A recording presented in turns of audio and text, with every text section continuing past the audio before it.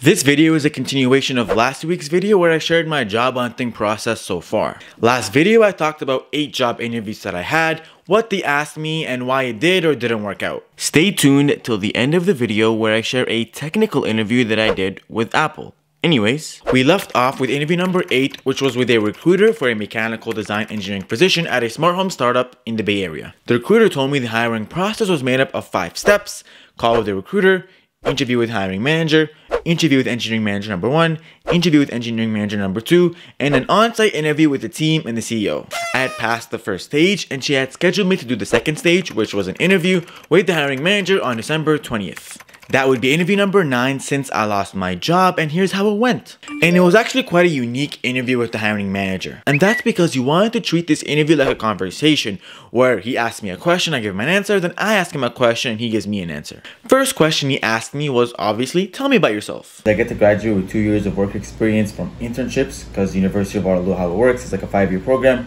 Do four, you're familiar with it? Yeah, so you do four-year school and you alternate. Yeah. And before that, I was at Tesla, also as a mechanical design engineer. And I give him the regular summary of my experiences I always give. Next question he asked me is how do you see your career progressing? I just like working on really well mechanically designed parts. I'm not too specific on a particular like industry.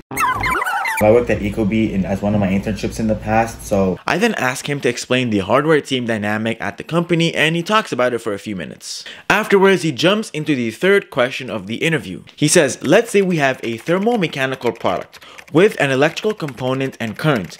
We collect data about current over time and we need to convert it to temperature over time. How would you do that? Before solving it, I first ask him, Are you looking for more of a like an intuitive answer or like a mathematical? He says use your intuition. So I start off by saying, When you have current moving through a resistor, will be sort of heat that's going to be dissipated will cause a change in temperature over you know a particular time period. He then asked if the power dissipated was 1 watt, how would you find the temperature change over time? So I say, power dissipated was 1 watt. The first sort of, I mean, if you're looking for numbers, first equation that come to mind is like Q equals mc delta t. He then asked me, what does that equation represent? So I say, based on like the mass of the part and then the specific heat, and then you know the change in temperature you can determine how much power has either been like left the system or entered the system. He's like great exactly. Now mathematically if you have current how would you find power? So i share my screen to explain my answer. Here's what i say. If we have a resistor with current moving through it the amount of power dissipated would be governed by this equation p equals i squared over r. Once we have power, we can assume it heats up the resistor and its surroundings. To find by how much, we can use Q equals mc delta T. If we know mass and specific heat and we just found power, we can isolate for the change in temperature, which would answer your question of how to find the change in temperature based on an input current. He was like, yep, that's exactly what I'm looking for, and he goes off to ask me another technical question. It goes like this. If we have an electronic enclosure, what are some ways to cool it? So I say, sort of forced convection, where maybe have a fan or something blow air across this to allow it to cool down. Potentially designing fins. I'm guessing if it's an enclosure, that's something that could work well as, uh, as well because that kind of allows for better heat dissipation because kind of, you know, you have a greater surface area for where you can dis- of distribute heat.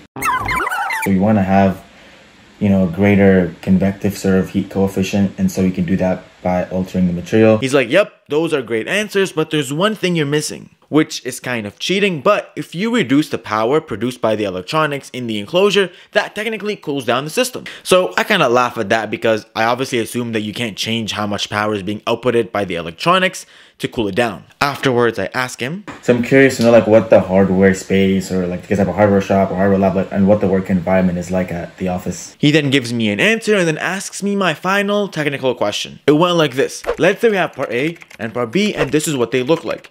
You want to attach a part between them. What are some things do you have to consider? So I say part A, part B, and you want to attach a part in between them. First thing I look at is what's the size of part A and part B and the part that I want to attach. Uh, you know, what, what material is part A and part B made out of? Fastening features. So, you know, are there any holes on part A or part B?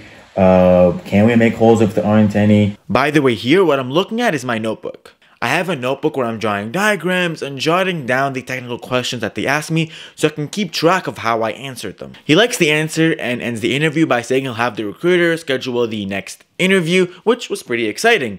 I had it scheduled for January 3rd. Now, before getting to that, I had an interview with another startup in the healthcare industry on December 21st. The interviewer joins a bit late, so I was just waiting for him. Once the interview starts, he asked me to tell him a bit about myself, so I do. So, you know, with that two year internship experience, I was able to first get a job right out of university working at a working at Tesla.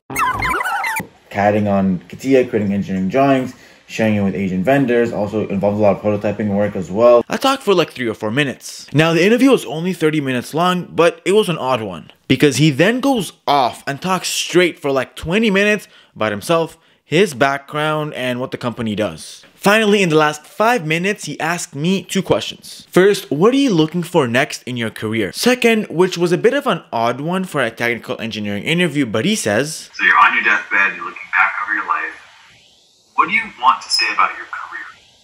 And of course, your career is just one part of your total life. I was a bit thrown off at first, but I answered by saying something along the lines of I think for for me, um, how many people have I impacted positively throughout my life? But that's it. He just asks me these three technical questions that were very high level and not technical at all, which was quite surprising since he had an engineering background. But a few days go by and he sends this email saying they're not interested in moving forward with me. Sometimes I have an idea why, but for this one, I genuinely had no idea. Moving on, interview 11 was with the smart home startup, and this was my third stage of their interview process. Hey, how's it going? He started off by telling me about his team and what they specifically do in the company. He then asked me, what do I enjoy doing in my day-to-day work? So I say, Look for is like working on like well mechanically designed parts in like a techy kind of niche. It's sort of like uh, what I kind of enjoy doing. he then asks, how do I go about making parts? As in, what process do I follow? So I say, So getting to go through the entire like sort of product development process. You start sketching some ideas, you turn those sketches into CAD. You create engineering drawings, use GD&T, go back and forth to suppliers to sort of, you know, send them the right drawing that they're happy with that they can actually manufacture. He seemed to like that answer, and that was the first 15 minutes of the interview. For the remaining 45 minutes, he shares his screen and we go through this engineering design problem together. This is what it looked like. We have a motorcycle and we can represent it with this diagram that only contains a battery and a motor. The motor is 300 millimeters in diameter and 300 millimeters long. The dark orange portion of the motor releases 500 watts of heat. What would you do to keep this motor cool? That was a relatively straightforward question because if you remember, I got asked a very similar question in a previous interview that I had. I start off by giving a pretty basic overview of different methods of heat transfer. Well, I mean, to talk about how to cool it, you gotta look at the different methods of heat transfer. Uh, I will also keep in mind that there is a battery, which is like a, a heat source as well, right there. Then I mentioned how we can use the convective heat transfer equation to cool down this part. We can change H by controlling the material, and A by increasing the surface area and adding fins. We can also liquid cool, air cool, or add fans. He then asks me to sketch out a design concept. So I do that and it was a bit hard to draw with a trackpad, but I figure it out. He then asks if this was made out of plastic for high volume manufacturing, how would you go about making it? I say injection molding. He then asks would I make any design changes if I were to go with that manufacturing process. So I said yes and I talked about how we can avoid some classic injection molding defects like sinking, warping, drag marks, etc. I then end off the interview by asking him a few questions about the company and the team. Overall, I think the interview went well since I moved on to the next stage of the interview process. So now I'm on stage 4 out of 5 in the hiring process for this smart home startup. Now I'm starting to get a bit excited. Anyways, this next interview is about an hour long. Like most interviews, he asks me to tell him a bit about myself, so I say again the exact same thing I say in almost every job interview. I went to Waterloo Engineering, graduated with two years of work experience, I then worked at Tesla and a tech startup after. He then asks me which manufacturing process am I most familiar with, and I say CNC machining and injection molding since that's what I did most in my previous work experience. So he asks me some questions about injection molding like what are some common defects, what are some design rules of thumb, how you design ribs when injection molding. I say the rib thickness should be between 50 to 60% of the wall thickness, and rib height should not go over three times the wall thickness.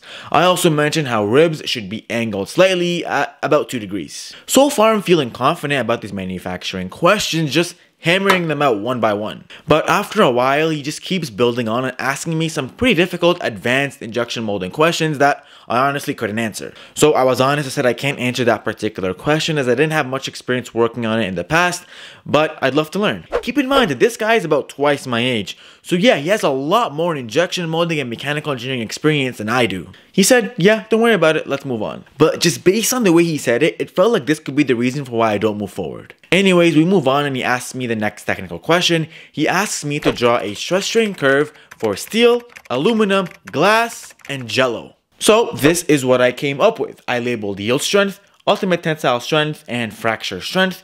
The jello kinda threw me off, but I just treated it like rubber. He says, yep, that's what I'm looking for, and we move on to the final technical question. This is what it was. He says, let's say we have a large waterproof enclosure. If pressure on the inside and outside of the enclosure isn't equal, this could lead to permanent plastic deformation during shipment. What should we do to avoid that? It took me a while to get to the answer, but eventually I got it, and this is what I said. If we assume this gas is ideal, we can use the ideal gas law, PV equals nRT. By controlling the volume, moles, and temperature, we can control the pressure. He was like, yep, that's what I was looking for. I then asked him a few questions, and the interview ended. Fast forward a couple days later, I get this email. They want to move forward with someone else. And I figured it was probably because I messed up that injection molding question. But that was just a guess, and the recruiter said we can hop on a call and she can give me some direct feedback. So I figured, why not? We did the call, and just like expected, she said you were lacking a bit on your injection molding knowledge, so we had to move forward with someone else. She did say that the team still thought I was a strong candidate, but it just didn't work out. I was like, alright, Fair enough. Looks like I need to study up some more on my injection molding knowledge. It just kind of sucked that after four stages of the interview process, I was so close to getting a job offer, but I slipped up. Anyways, can't dwell on it too long. The next interview I had was on January 13th for a product design engineering position at Apple. This was a technical interview with a fellow engineer. For some reason, they skipped the recruiter call stage of the interview. Again, she starts off by asking me to tell her a bit about myself. Do you mind walking me through your background? Yeah, for sure. I graduated in 2021 with a uh, mechanical engineering degree from the University of Waterloo. She then continued asking me some follow up questions about my past work experience, like how I tested some of my previous designs. There's like a little pneumatic system and it just like lifts the cardboard and then drops it. And I continued to answer. This lasted for about 17 minutes before we jumped to some really technical questions.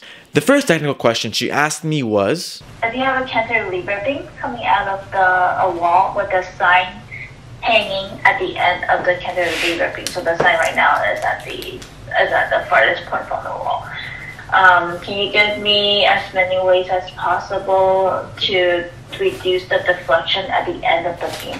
I don't show it in the video, but I was hella excited to get that question because it's a classic mechanical engineering Apple interview question and I knew exactly how to answer it. Here's what I said. Whenever it comes to deflection, and it's because it's a cantilever beam, the equation that kind of governs this you know, real life application is deflection equals FL cubed over 3EI, where F is force, L is the length from the cantilever beam to where the stop sign is, E is the Young's modulus, and I is the moment of inertia. To reduce deflection, first thing you obviously do is reduce the force, which means reducing the mass of the stop sign, reducing its weight, uh, making it out of you know lighter material. So that's like the first way, reducing the force. Second way, uh, reducing the length from which the stop sign is placed from the wall. The closer I bring it to the wall, um, the lower the deflection will be. Second thing I can do is increase the Young's modulus, uh, which means I can make out of a stiffer material. For example, instead of using aluminum, I do steel. That would increase Young's modulus, which would reduce deflection. Another thing I can do is change the moment of inertia.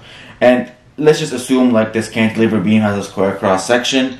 So with that, like the moment of inertia equation is bh cubed over 12. If I increase the base or increase the height of that you know, square cross section, that will increase the moment of inertia, which will reduce deflection. Also, if I create it out of an I-beam, for example, instead of a square, uh, uh, instead of a square cross section, that moves more of the mass kind of away from the center, which also helps increase the uh, moment of inertia, which will therefore reduce deflection. But I answered that question so beautifully that she had no follow-up questions. The second technical question she asked me was, Walk me through the stress strain curve and how they would compare. Another classic Apple interview question, so I answered it by saying, I wish I could draw it out, but um, so both. Notice how I made her, an Apple engineer, laugh. so I'll, I'll draw steel first. So you have a nice linear slope, and that would be like the elastic deformation, and then you have like yield point phenomenon for a bit, and then you'd have then it would be like a curve and then it will max at a certain point and then come back down. Final point where it will fail will be like fracture strength. At the maximum point it will be ultimate tensile strength. Then the point between elastic and plastic deformation would be the yield strength. The linear portion, the slope of that would be uh, Young's modulus. E, which is stress over strain. And then aluminum be a little different. It's less stiff. It wouldn't have yield point phenomenon. It'll just be like a linear line, and then it will start curving at the yield stress point. It's weaker than steel, so it have a lower yield strength, lower ultimate tensile strength, and lower fracture strength. But I'm drawing it out as I'm explaining it on my like notepad. But uh, yeah, I hope kind of that makes sense. Yeah, I, I think your explanation is pretty clear. Okay, cool. It's pretty hard to describe a stress strength through foam. Moving on, she asked me one final technical question. So if you're tasked to design the packaging for the next MacBook, not saying that we're releasing a MacBook that has just a disclaimer, Yep. how would you go about starting the defining the problem and what things would you consider? So I said, Okay, well, I mean, first thing, well, I can see what the purpose of this packaging is, but first I want to know the size of the MacBook, all the different parts that will go into this MacBook. So you have the charger, the actual MacBook, if there's, you know, all the manuals, anything like that. Figuring out however many parts there are, how big each part's going to be, so I can allocate enough space for it. The material of the packaging is something else I'd have to consider as well. How this packaging will be manufactured is another important thing. It was pretty straightforward stuff, and she seemed to like my answer. And that was it for the Apple interview. A week goes by and I don't hear back from them, so I just assumed they ghosted me and I completely forgot about them to be honest. Then on January 24th, I get this email. They said the interview went very well. I'm not gonna lie, I felt kinda gassed about that. They then sent a follow up email saying the next stage of the interview process would be a 7 day design challenge and the timer starts the day the challenge is sent over. So I reply back saying if they can send me the design challenge on the following Monday so I have that full week to work on it. I haven't done it yet, but I'll keep you posted on how that goes. If you remember one of my previous videos, I talked about how Apple rejected me 9 times over the past 5 years, but who knows, maybe this 10th time's the charm. That being said, so far, to summarize, First, I interviewed with a farming startup, made it to the final round, then got rejected. Second, I interviewed with a robotics startup, made it to the second round, then got rejected. Third, I interviewed with a weed startup, but I rejected them since I'm not about it. Fourth, I interviewed with a company called Instrumental, and after the first round of interviews, they decided they don't want to hire anyone anymore. Fifth, I interviewed with a LiDAR startup, and they rejected me after the first round. Sixth, I interviewed with a smart home startup, made it to the fourth round, then got rejected. Seventh, I interviewed with Forward, and I got rejected after the first round.